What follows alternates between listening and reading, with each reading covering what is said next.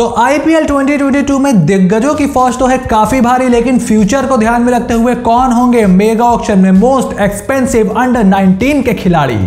What's going on, everyone? Welcome back to my YouTube channel. और आज इस video में हम बहुत ही इंटरेस्टिंग टॉपिक पर बात करने वाले हैं और वो है कि अंडर 19 वर्ल्ड कप की टीम में से कौन से वो टॉप पाँच खिलाड़ी होंगे जो इस मेगा ऑप्शन में सबसे एक्सपेंसिव होने वाले हैं। जैसा कि आपने कल देखा ही होगा कि द ग्रेट इंडियन टीम ने पांचवी बार अंडर 19 वर्ल्ड कप का फाइनल जीतकर इतिहास रच दिया the most successful under 19 team of all time लेकिन अब उन सभी की निगाहें मेगा ऑप्शन की तरफ़ है और ये मेगा ऑक्शन चूँकि आईपीएल का आखिरी मेगा ऑक्शन हो सकता है तो टीमें ना सिर्फ़ एक्सपेंसिव या एक्सपीरियंस खिलाड़ियों के पीछे जाना चाहती हैं, बल्कि वो युवा टैलेंट को भी अपने पाले में करना चाहती हैं, और अभी ये टैलेंट अगर उनके हिस्से में आ गया तो उनका फ्यूचर भी सिक्योर हो जाएगा। तो इस वीडियो में हम यही बात करेंगे कि वो कौन से पाँच खिलाड़ी हैं, जिनकी तरफ़ टीमें सबसे ज़्यादा अट्रैक्ट होंगी, कौन इन पाँच खिलाड़ियों में सबसे महँगा होगा, और कौन किस टीम में जाएगा। तो वीडियो के आखिर तक ज़रूर बने रहिएगा, लेकिन उससे पहले अगर आपने अभी तक चैनल को सब्सक्राइब नहीं किया है तो प्लीज़ चैनल को सब्सक्राइब कर लीजिए। मेरे वीडियो ज़्यादातर लोग जो देखते हैं, वो चैनल को सब्सक्राइब नहीं करते। अगर आप चैनल को सब्सक्राइब करोगे तो आई बी मोर मोटिवेटेड मोर पंड जो आपके लिए इस तरीके का एनालिटिकल कॉन्टेंट लेकर के आएगा, जो आपको बड़े बड़े न्यूज़ चैनल के बहुत सीनियर सीनियर जर्नलिस्ट नहीं दे पाते। So make sure you subscribe the channel hit the bell notification और अब बिना देर किए इस मज़ेदार वीडियो को स्टार्ट करते हैं। फ़र्स्ट अंडर 19 प्लेयर जो इस मेगा ऑक्शन में काफ़ी हाई डिमांड में रहने वाले हैं, वो हैं Raj Bawa. Under 19 world cup के फाइनल में पाँच विकेट चटकाने वाले पंजाब के Raj Bawa. Is one of the most versatile cricketer in this under 19 Indian team top पाँच में वो कहीं भी बल्लेबाजी कर सकते हैं इवन टॉप छह में वो कहीं पर भी बल्लेबाजी कर सकते हैं। युगांडा के खिलाफ जो 162 रन की इनिंग उन्होंने खेली थी दैट वॉज़ एब्सोल्युटली मैग्निफिसेंट उसके साथ वो आपको वो चीज़ करके देते हैं जो टीम इंडिया बहुत समय से ढूंढ रही है। मैं सीनियर टीम की बात करता हूँ, और वो है एक fast bowling allrounder Hardik Pandya के रूप में आपको एक ऑलराउंडर मिला, लेकिन वो इस तरीके के ऑलराउंडर नहीं थे कि आप उनको टॉप में भी बैटिंग करवा दो या आप उनको टेस्ट क्रिकेट के लिए देखो। और अब तो खैर वो इतने ज़्यादा ऑलराउंड प्रदर्शन करते भी नहीं है बॉलिंग तो उनकी काफ़ी समय से बंद चल रही है बिकॉज़ ऑफ़ इस इंजरीज तो अब इस समय राज बाबा बहुत ही हाई डिमांड में जाने वाले हैं इस मेगा ऑप्शन में and I will not be surprised अगर 20 लाख से इस प्लेयर की बोली शुरू होती है, और जाते जाते जाते जाते वो पाँच करोड़ के भी पार निकल जाती है, क्योंकि आप एक ऐसा वर्सटाइल प्लेयर अपनी टीम में चाहते हैं जो ना सिर्फ़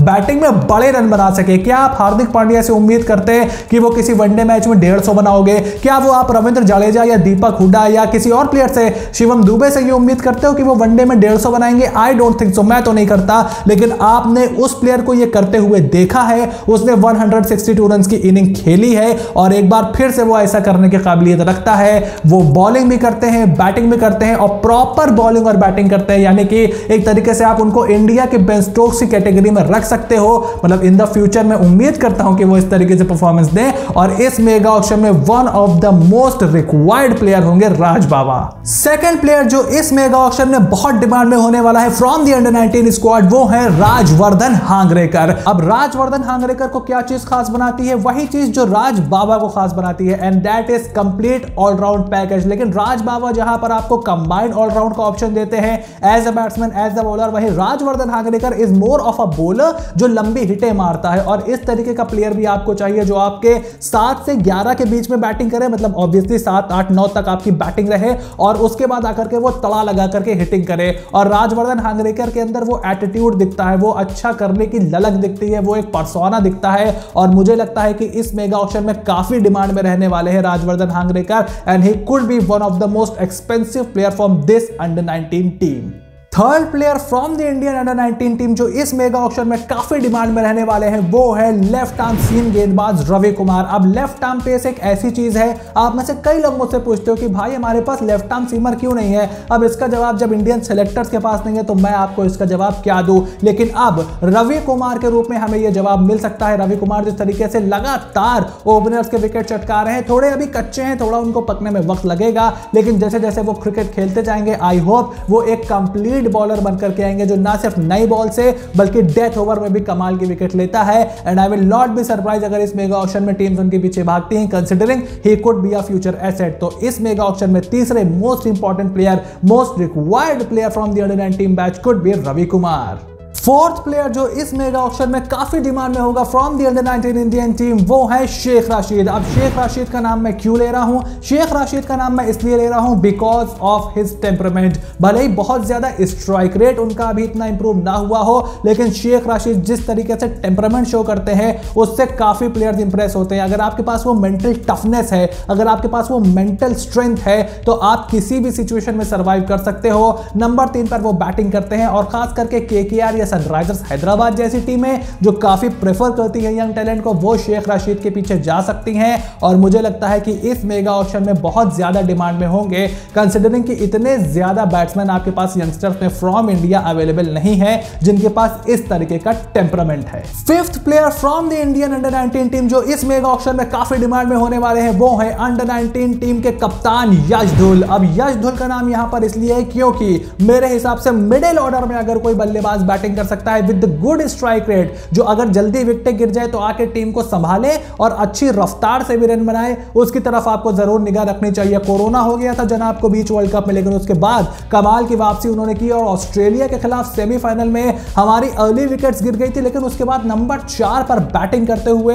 यश धोल ने जिस तरीके की सेंचुरी मारी, जो 110 रन उन्होंने खड़काए दैट वाज एब्सोल्युटली मैग्निफिसेंट और यश धोल अगर नंबर चार पर बैटिंग करके इस तरीके से इनिंग्स को आगे ले जाने की काबिलियत रखते हैं तो जैसे जैसे उनकी एज होगी जैसे जैसे उनको एक्सपीरियंस आएगा वैसे वैसे वो और बेहतरीन होते चले जाएँगे। और आप इस वक्त इंडियन सीनियर टीम में देख रहे हो कि हमारे पास मिडिल ऑर्डर में उस तरीके के खिलाड़ी नहीं है। जितने भी प्लेयर हैं, वो सब टॉप टीम में बैटिंग करते हैं। फिर हम उनको नीचे खिलाते हैं, वहाँ उनसे रन नहीं बनते। तो हमें यश धुल को मेरा मानना है कि मिडिल ऑर्डर में ही ट्राई करना चाहिए और आईपीएल की जो टीम्स अपना मिडिल ऑर्डर में यंगस्टर्स को ट्राई करने को देख रही हैं, वो यश धुल के पीछे ज़रूर जाने वाली है। और मुझे लगता है he could be one of the most popular player from this under 19 team जैसा कि मैंने आपको वीडियो की शुरुआत में बताया था कि ये आईपीएल का आखिरी ऑप्शन हो सकता है ऐसे में टीमें ना सिर्फ़ प्रेजेंट या फिर नियर फ्यूचर को, बल्कि डिस्टेंट फ्यूचर को भी ध्यान में रखते हुए अपनी टीम बनाएँगी। और ये पाँच खिलाड़ी ज़रूर उनके रेडार पे होंगे, लेकिन अब सवाल ये है कि ये पाँच खिलाड़ी किस टीम पे जाएँगे। तो मेरी प्रोडिक्शन यहाँ पर सिंपल सिंपल से ये है, जो मैं आपको बताने जा रहा हूँ।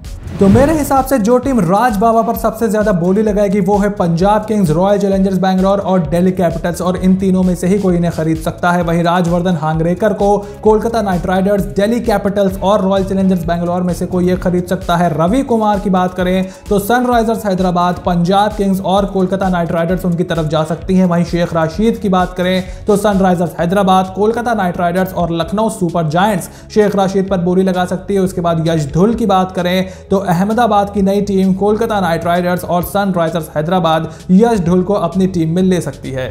वहीं सबसे एक्सपेंसिव प्लेयर्स की बात करें तो मेरा मानना है कि राज बाबा इन पाँचों प्लेयर में सबसे एक्सपेंसिव प्लेयर साबित हो सकते हैं। रीजन आप समझ गए होंगे because of his allround abilities वो बैटिंग भी कर सकते हैं बॉलिंग भी कर सकते हैं और दोनों ही जगह से गेम पलट सकते हैं।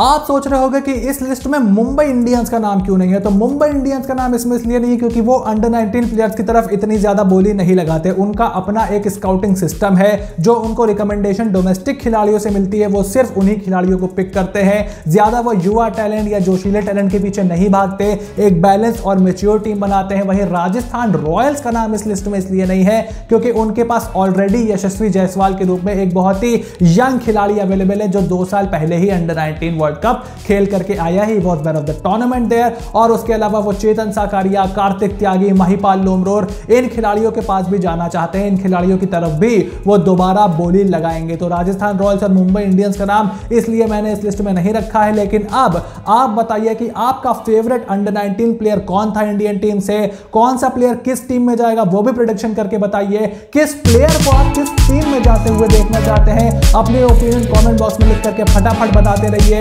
लेट्स एंगेज इन कॉन्वर्सेशन और अगर ये वीडियो आपको पसंद आया तो please considering subscribing the channel अगर आप सब्सक्राइब करोगे। I will be more motivated more happy और आपके लिए इसी तरीके के बढ़िया बढ़िया कॉन्टेंट बनाता रहूँगा। तो चैनल को सब्सक्राइब करिए नोटिफिकेशन की घंटी खटाखट से बचा दीजिए और इसी तरीके की मज़ेदार वीडियोस के लिए बने रहिए स्पोर्ट्स इनकाउंटर के साथ।